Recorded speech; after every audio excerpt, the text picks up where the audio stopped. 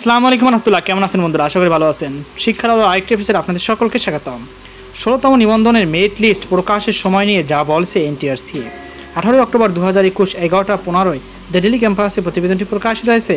প্রতিবেদনটি অত্যন্ত গুরুত্বপূর্ণ যদি আপনি একজন এনটিআরসি নিবন্ধনদারী হয়ে থাকেন ষোলোতম ব্যাচের তাহলে প্রতিবেদনটি স্কিপ করবেন। আরেকটি কথা, আপনি যেমন চ্যানেল তিন রিস্ক থাকেন, তাহলে অবশ্যই আমার চ্যানেল সাবস্ক্রাইব করে রাখুন।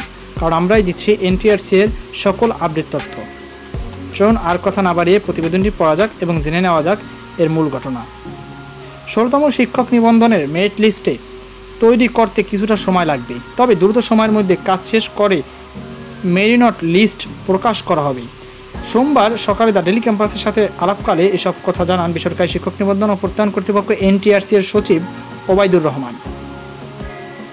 তিনি বলেন, গতকাল ষোলোতম নিবন্ধনের ফল প্রকাশ করা হয়েছে। আজ থেকেই আমরা মেরিট লিস্ট তৈরির কাজ শুরু করতে পারি। মেরিট লিস্ট তৈরি করতে আমাদের দুই থেকে তিন দিন সময় লাগবে।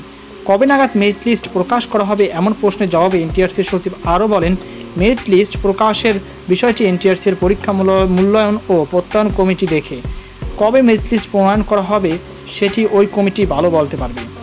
এর আগে গতকাল রোববার ষোলোতম শিক্ষক নিবন্ধনের চূড়ান্ত ফল প্রকাশ করা হয়।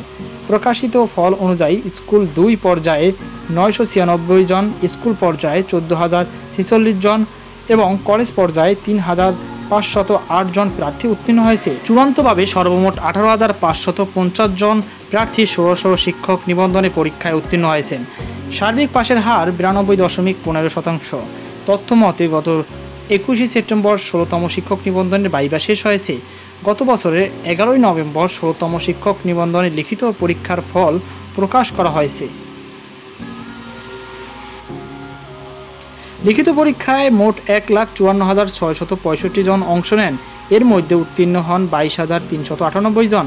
এতে স্কুল দুই পর্যায়ে এক হাজার দুইশত তিন জন, স্কুল পর্যায়ে সতেরো হাজার একশো চল্লিশ জন এবং কলেজ পর্যায়ে চার হাজার পঞ্চান্ন জন সহ মোট বাইশ হাজার তিনশত আটানব্বই জন উত্তীর্ণ হয়। তো বন্ধুরা, এই ছিল আজকের প্রতিবেদনটি। সকল ভালো থাকুন, সুস্থ থাকুন, আর সাথেই থাকুন শিক্ষার আলো আল্লাহ হাফেজ।